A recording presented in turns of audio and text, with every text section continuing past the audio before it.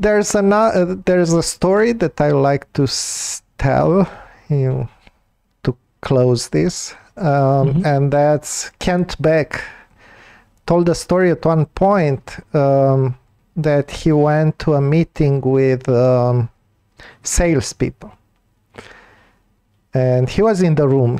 I don't know exactly why, but it was basically one of the, um, like, every three months or so, they would report their their progress on sales and stuff like that.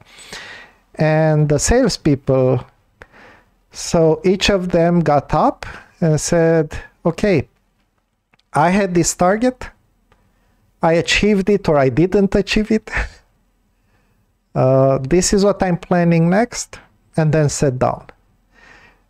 And this took like, you realize, like five, ten minutes for each person.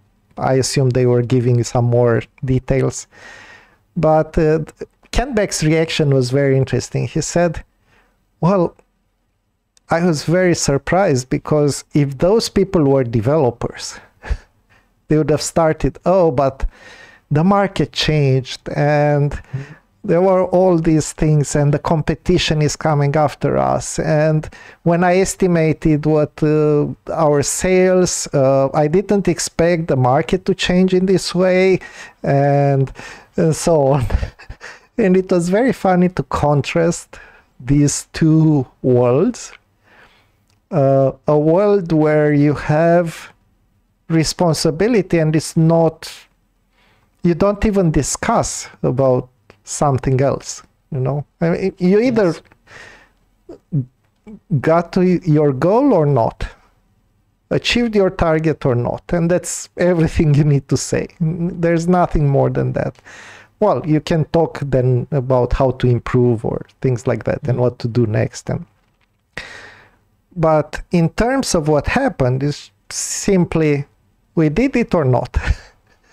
Whereas with developers, we have this recurrent story of okay, we estimated this, but back then the estimation was about something that was not completely clear, and the world changed around us, and then something else arrived, and so on, and and then our estimation is completely different, and it's the blame of somebody else. and to me this is like the the fundamental or quintessential story about the difference between responsibility and you know justify play blame that is so common with with developers so let me give you some news um, everybody else not only developers works in conditions of change things mm-hmm. change around them, but uh, they deal with it because that's the job. So that would be for me responsibility for software developers. I'd like to stop hearing things like, uh, yeah, we got over our estimate because of X, Y, and Z. Yeah, it's true.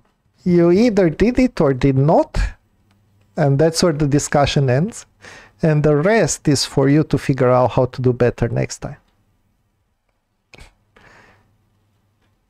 It's as simple as that.